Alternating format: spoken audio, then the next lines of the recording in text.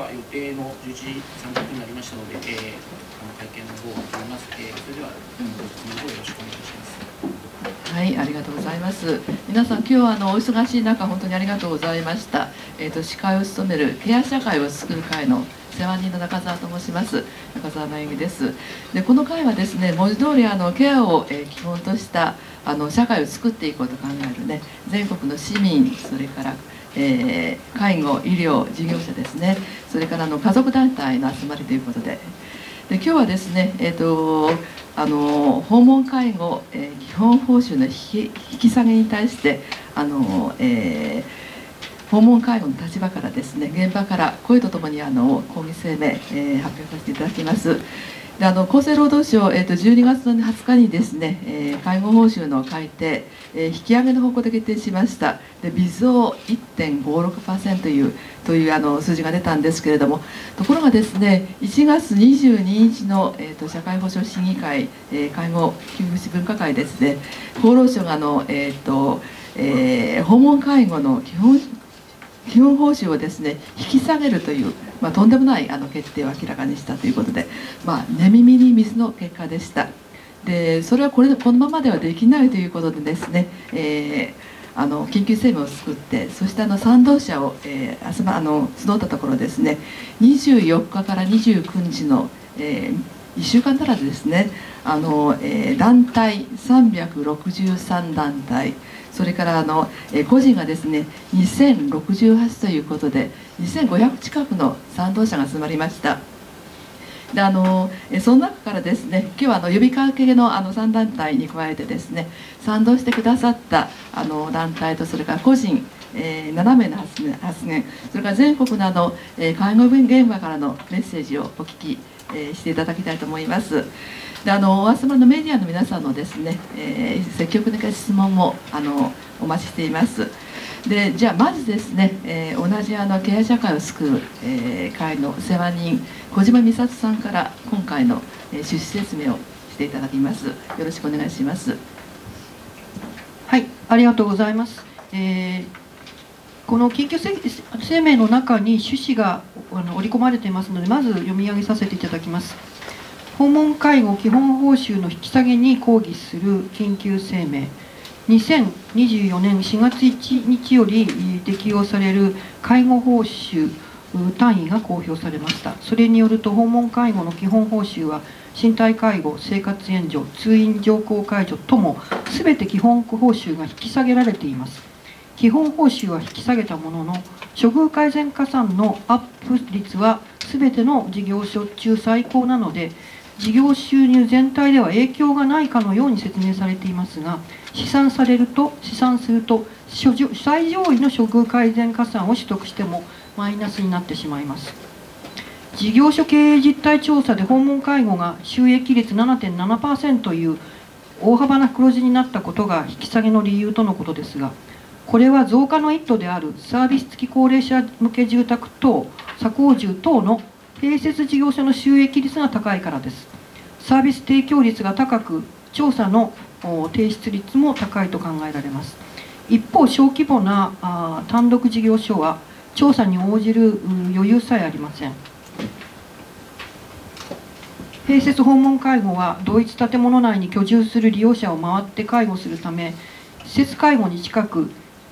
地域の中を1軒ずつ訪ねてケアを提供する訪問介護とはかけ離れカテゴリー自体を分けるべきものです。訪問介護はすでに15.3倍の有効求人倍率で訪問介護員の高齢化も突出しています。地域の在宅介護を支えてきた小規模事業者は次々と撤退。ヘルパー不足でケアプランに必要な訪問介護を組むことができないという悲鳴が全国の現場から聞こえてきます。人件費比率が72.2%の訪問介護で基本報酬を引き下げれば単独小規模事業所の経営は悪化し閉鎖倒産が相次ぐことでしょう。仮に処遇改善加算で職員賃金を上げることができたとしても物価高騰の中で経常経費などを賄うことができないからです。在宅介護の命綱である地域に根ざした単独型の訪問介護が減っていけば1人暮らしや老老世帯はたちまち介護難民になります。家族介護に頼らざるを得ず介護離職は激増します。可能な限り最後まで進み慣れた地域でを謳った国が進める地域包括ケアシステムはますます有名無実になるでしょう。多くの人々が訪問介護の現状を危惧する中この基本報酬の引き下げは暴挙というほかありません。強く抗議し撤回を求めます呼びかけ団体以下あのお読みください。えということで急遽あのこのような声明文を出して賛同を求めたものですが、えー、私自身も訪問介護の事業所を運営する事業者の立場であります。で今回驚きとともにやっぱりというなんかこう絶望感に似た感覚に襲われました、えー、この間訪問介護の中でえー、サービス高齢者住宅住宅型有料の併設型が突出して増えている。小規模な事業者が撤退倒産しているのに訪問介護事業所自体が増えている。今訪問介護事業所のうち27%ほどの事業所がこうした併設型です。それを知っている人がどれだけいるでしょうか。また訪問介護の報酬のうち40%がこうしたあサービスに提供を支払われているという実態があります。私は仲間として左高中で働く介護職員を貶めたくはありません。そのためにもこれは分けるべきです。こうやって訪問介護の報酬を引き下げに口実にされては現場で働く人たちは本当に気の毒です。ともかくこの事態は在宅介護の終わりの始まり。介護保険の崩壊の第一歩。私たちはこの11月にこのままでは介護保険は詐欺になるというふうに言いましたけどこれではもう詐欺になりました。誰があのビルの中を回っている人たちをヘルパーだと思っているでしょうか。どうぞメディアの皆さんこれをもっともっと国民に知らせてほしい。そう思いまして今日の記者会見にこぎつけました。どうぞよろしくお願いいたします。ありがとうございました。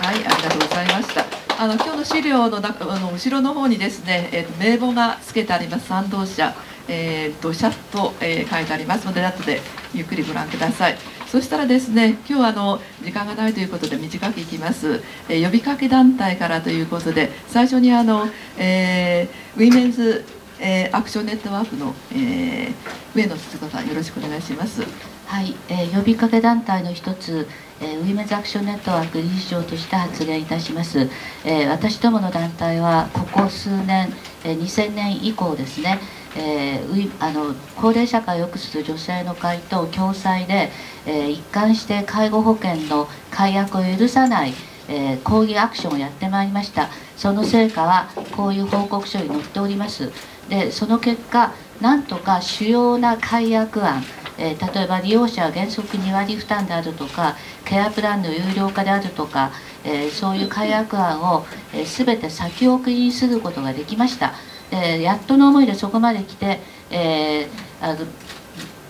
全体の報酬の改定が、え微増1.5%という改定が出た時には、え、当然と思ったものです、え、あのコロナ禍を生き延びた、え、介護事業者に対してまさかマイナス改定はあるまいと思っておりましたから、えプラスで当たり前。ただし1.5%でも追いつかない、え物価の上昇率にも及ばないし、え各地における、最低賃金の上昇にも追いつかない、えこの状況では事態は改善しないと思っていたところに配分費を見て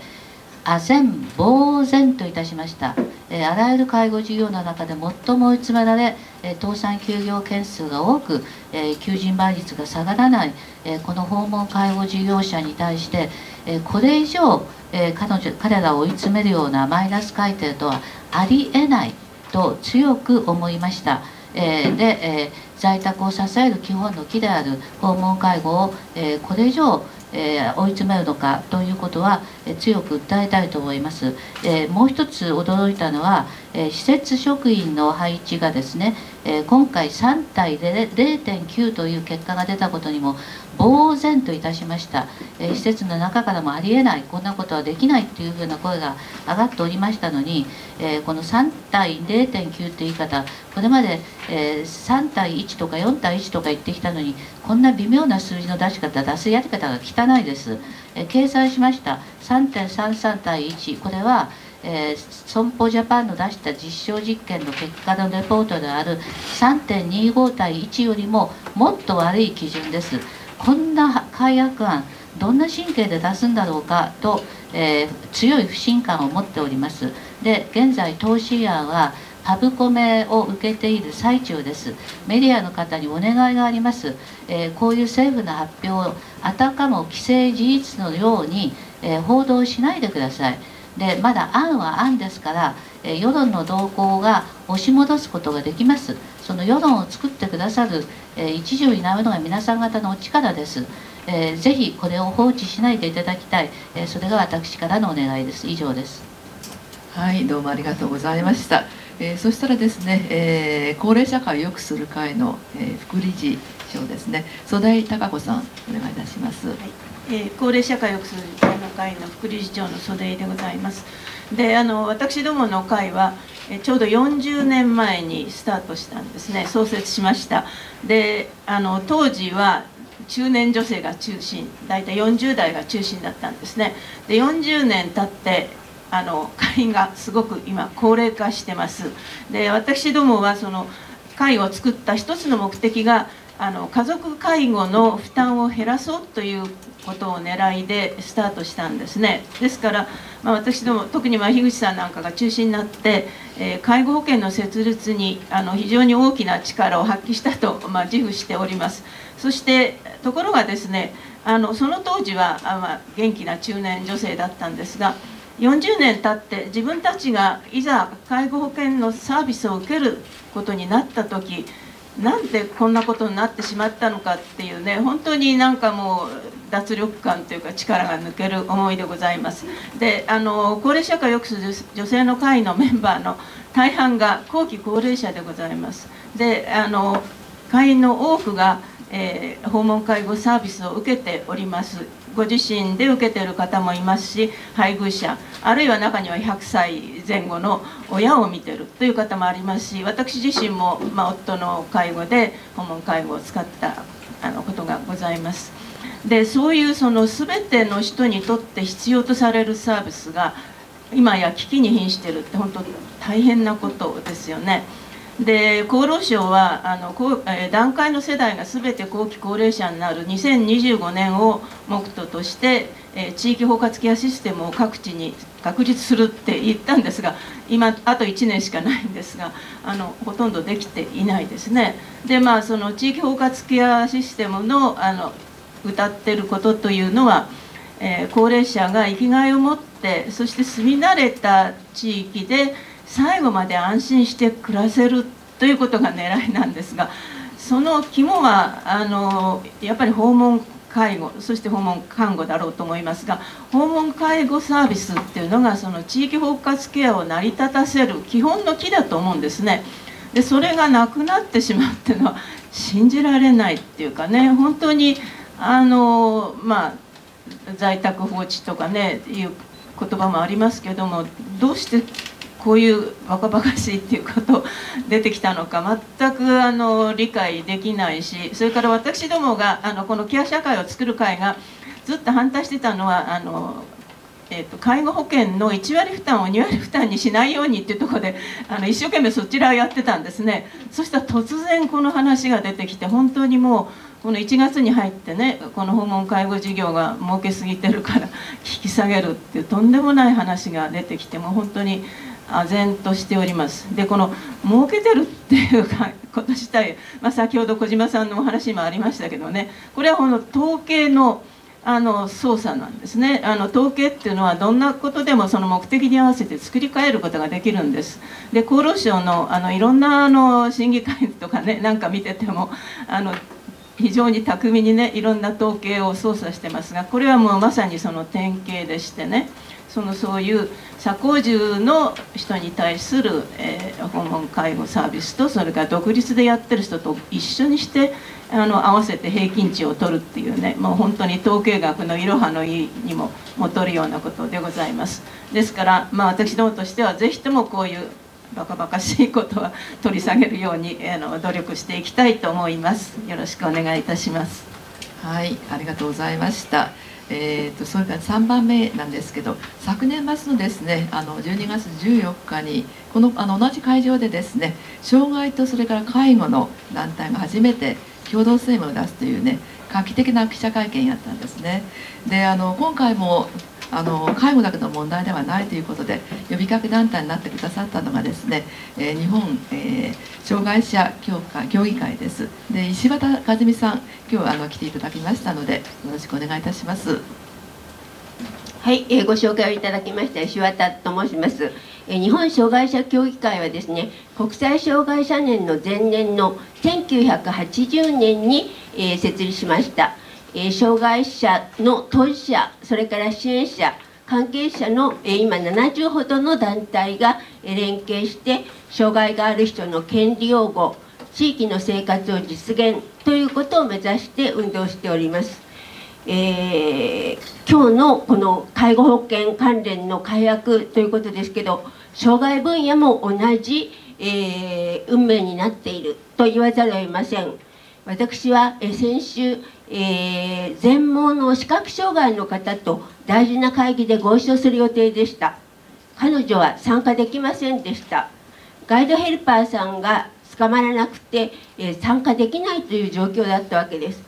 でこれは、えー、先週だけではありません。前回も同じでした。彼女はですね本当にこう自分のいたたまれない気持ちを、え昨日私に電話で訴えてきました。30分くらいも、えー、このガイドヘルパーということだけではなくて、えー、ホームヘルパーそしていろいろな支援が受けられない、えー、自分たちの生活が先ほどあの、え緊急声明ではですね障害分野綱渡りの状態であったんですけれどももう綱から落ちてしまっている状態になっていると言わざるを得ません。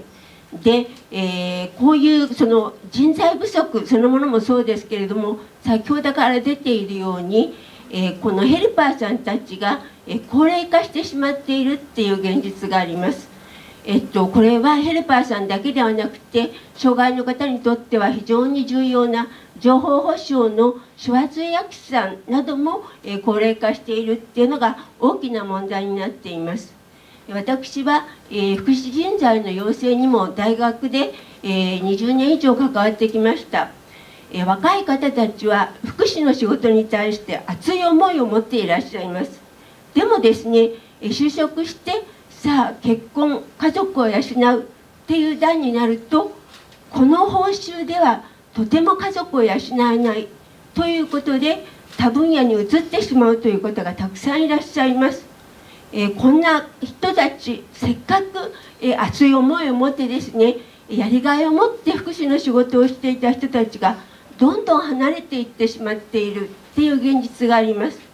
やはり、え、このような状況を、え変えていくためには加算では何ともなりません。やっぱり基本報酬そのものを、えかっちりとですね、え多分野と同様に家族が養えるだけのえー、報酬にしていただかなくてはとても人材不足は解消しないというふうに、えー、いろんな状況いろんな声を聞くたびに思っています、えー、障害分野ではですね一昨年2022年の9月に、えー、障害者権利条約の批准状況をえー、批准してからの履行状況をチェックする日本審査が行われて、え、国連の障害者権利委員会から総括書簡勧告が出されました。この勧告の中でもですね障害がある人の地域移行ということを、えー、強調しています。しかし病院や施設から出たとしても在宅での暮らしというのが本当に綱から落ちてしまっている状態では移行もできません。障害がある人たちがですね、えー、条約が強調するように障害がない人と同等の生活をえ地域で一生涯送るというためにも、えー、在宅サービスの充実、え、特に基本報酬のアップというところが今切実な問題になっていると言わざるを得ません。この点はぜひ、えー、市民の方々に分かっていただきたい。障害ある方たちはご自分では訴えられません。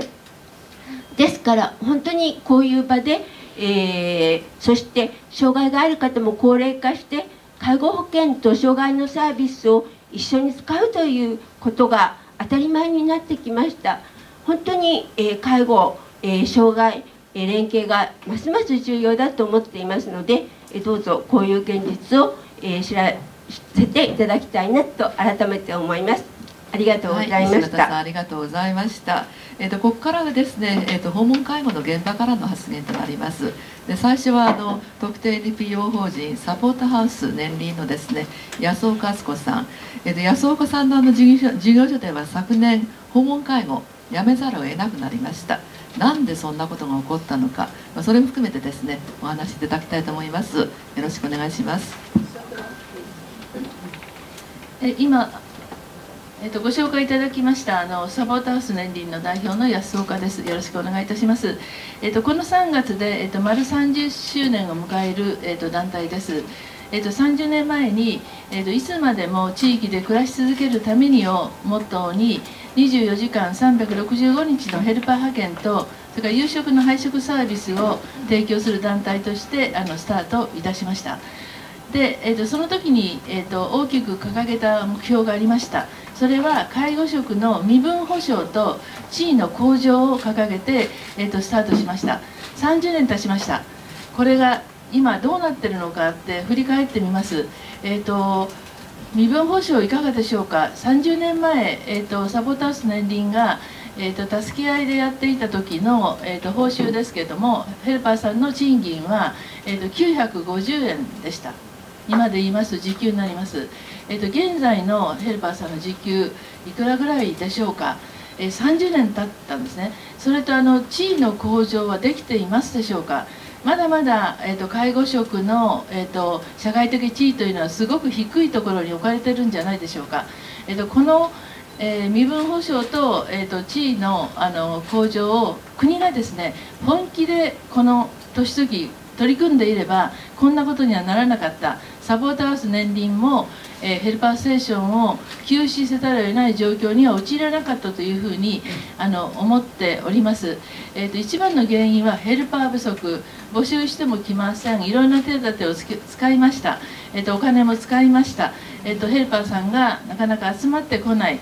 えー、と他の介護職よりもヘルパーが集まらない状況。なぜかというところをもっともっと掘り下げてねやはり国も考えてもらわないと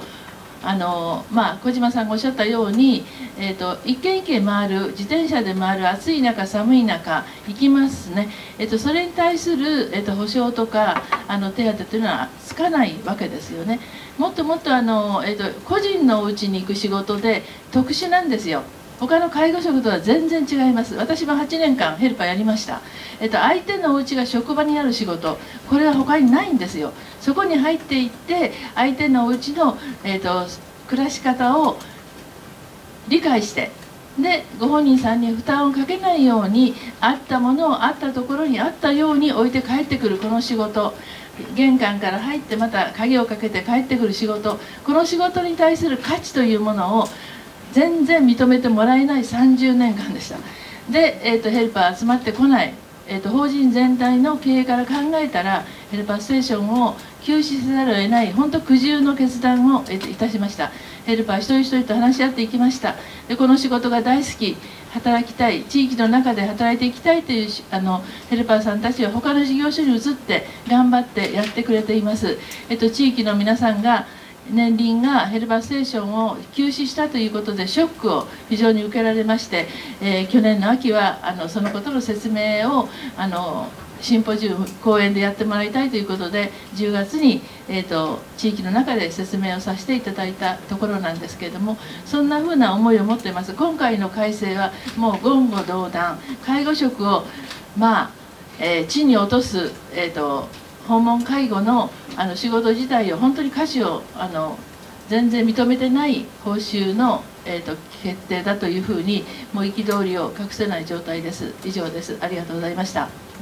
はい安岡さんありがとうございました。じゃあ2番目はですね世田谷で訪問介護をしている NPO 法人ソーシャルケア、えー、清和会の辻本菊夫さん。よろしくお願いします。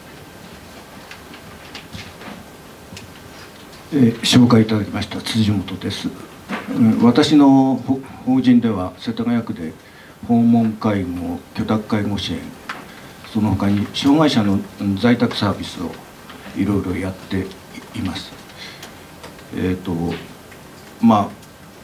この今回の報酬引き下げで思うことなんですけど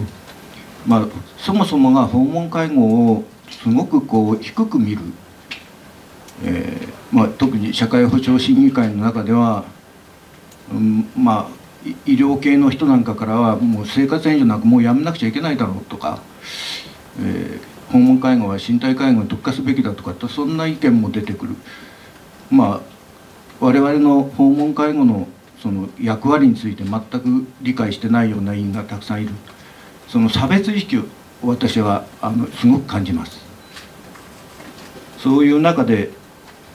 うん。まあ報酬改定のたんびにいろんなことが起こりましたけど一番大きな影響を与えたのは、えーと、サービス提供時間の引き下げ、えー、切り下げというか昔はあの制限がなかったんですけど、えーと、生活援助は、えー、1.5時間までと言われそのうち1時間までとどんどん削減され、まあ、ヘルパーはあちこちの利用者を短時間でぐるぐる回らなくちゃいけない。待ち時間は発生するし、えー、移動時間もかかる。どんどんその訪問介護のヘルパーの収入が減っていきました。現実的には、えー、身体介護 1,、えー、1時間の報酬は平成12年で402単位でした。今回は387単位に引き下げようとしてる。もうとにかくまあ全然採算は合わないんですけれどそんな中でまあ現場を守るヘルパーだいぶ高齢化が進んでいます。まあ、平均すると60いくつっていうところなんで70代もたくさん働いています。でも彼らは一生懸命現場を守っています。それはなぜかというといずれ自分も介護を受ける。そうなるのは間違いないのでその時に訪問介護が元気であってほしい。そういう思いからもう雨の中雪の中暑い時も寒い時も短時間で大変だけど現場を守ってくれています、うん、そういう中で今回の報酬引き下げというこの発表はですねもう現場のその士気を大幅に低下させるものです。報酬とももちろんなんですけどそれよりも要は訪問介護はもうなくてもいいんだって言われてるようなそういう衝撃を持って我々は今回の引き下げを受け止めました。まあいろいろ言いたいことはありますが3分で喋れという命令なのでこの辺にしておきますがいずれ質問を受けたいと思います。よろしくお願いします。はい、ありがとうございました辻本さん。えっ、ー、とあの後で、えー、ゆっくりあの質問を受けたいと思います。えー、次もですね世田谷からです。アクト、えー、助け合いワーカーズコレクティブの、えー、あの区議会の議員でもあるんですね。えー、関口恵理子さんよろしくお願いいたします。はい、よろしくお願いします。えっ、ー、と私はアクタ世田世田谷の方で助け合いワーカーズということでよりよりのきという事業所の方で訪問介護に従事をしております。えっと、都内に32箇所あのこの助け合いワーカーズというのがあるんですけれども今回は本当にもこの32団体を代表してこの場に来させていただきました。私自身も訪問介護の従事者として本当に今お話がありましたけれどもあのヘルパーはですね高齢者だけじゃありません。障害者のお宅にも行きます。困窮家庭にも参ります。本当に一軒一軒お宅に訪問をしてあの本当に家事援助だけじゃないんですね。あの身体介護だけじゃないんです。私たち訪問介護の従事者はあの利用者さんと心と心のコミュニケーションをとっていく。それがもう本当にあの私たち介護の真髄だというふうに誇りを持って日々あの従事をしております。そんなあの現場の声あの介護を受ける人の声家族の声を受けてあの私が昨年4月に世田谷の区議会議員として送り出していただいたのは本当に皆さんの声が強い思いがこの国の訪問介護制度に関し対して本当にあのやるせない思いがあるっていうことをあの私に託していただいたんだと思っているところです。あの世田谷区の方ではですね令和4年にあの高齢者ニーズ調査というのを行いましてあの65歳以上の方に調査をしたんですけれどもあの住み慣れた地域にあの住み続けたいですかという質問に対して90%以上の人があの住み続けたいというふうに答えています。またあの同じく65歳以上の人であの介護が必要になった場合に希望する住居また人生の最後をどこにどこで迎えたいかどこで亡くなりたいかという質問に対しては同じ50%以上の人が自宅と答えてるんですね。やはり自分の自宅で最後を迎えたい暮らしていきたいという方が多くいらっしゃる。それは本当に今まさに足りていない訪問介護の従事者が必要だということです。あの施設型あの付随型ではない一軒一軒訪ねてくれるあのヘルパーさんが必要だということです。あの本当にあの国の方もあの利益が上がっている事業に対してあの有効求人倍率が15.3倍っていうのはおかしいなというふうに普通は思うはずです。けれどこの実情を全く見ていない。でこの将来あの自宅でいたいという人があの増え続けていきます。2039年がピークアウト。2039年まで高齢者が増え続けると言われています。この残り15年間この15年間を国が何とかせずにどこがするんだというふうに本当に私は現場から言いたいと思っています。このままではサービスの提供ができなくなっていきます。また2039年というのはいわゆる団塊ジュニアの世代が65歳になる年です。私たち今働き盛りの世代のを指します。私たちが65歳以上になった時にサービスを受けることができなくなります。本当にもうそんな恐ろしい改定方針が出てしまいました。あの今回本当に私は現場からあの皆さんの声を代表してあのお伝えしたくてまいりました。あの以上になります。ありがとうございます。はい関根さんありがとうございました。